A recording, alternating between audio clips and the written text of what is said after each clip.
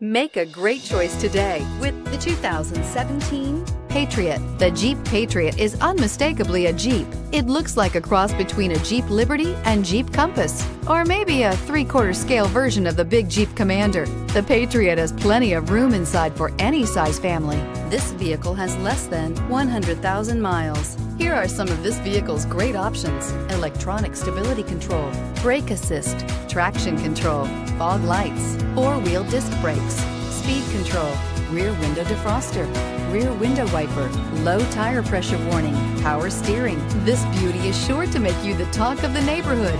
So call or drop in for a test drive today.